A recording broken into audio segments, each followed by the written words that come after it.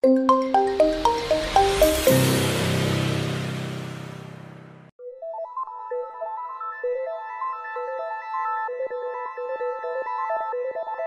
is not about, oh my god, the world is going wrong and we have to escape because, you know, we need a, another future somewhere else. No, no. The goals of interplanetary exploration and planetary preservation are not opposed to one another. No, they're in fact two sides of the same goal to understand, preserve, and improve life into the future.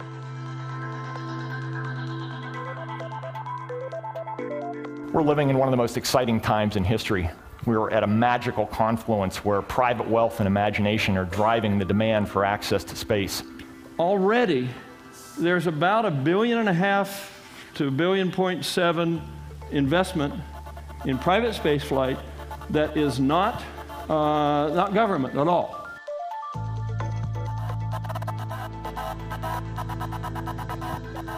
The space shuttle was an attempt at a reusable rocket, but even the main tank of the space shuttle was thrown away every time.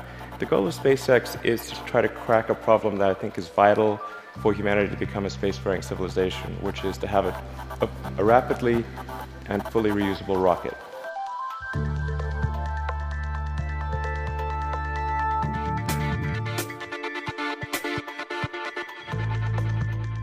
The space station will be one a, you know, giant eye. So when you when you're in space, you ought to be able to see this massive eye looking up at you. And um, and when you land, you'll be able to, um, to you know, go back into this, into this giant eye.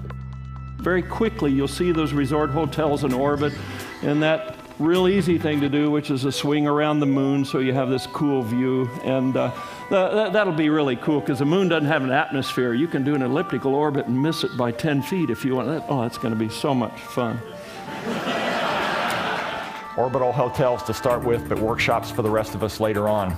The final missing piece, the real paradigm buster, is this a gas station on orbit. It's not going to look like that.